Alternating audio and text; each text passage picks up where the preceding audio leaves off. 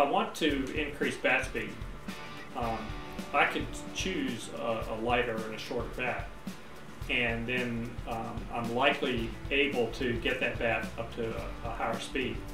But there's not um, as much momentum in the bat, not as much mass for um, to be exchanged with the ball. Uh, so I, I might, even though I have a a higher uh, velocity of the bat, I might not get as much velocity in the ball.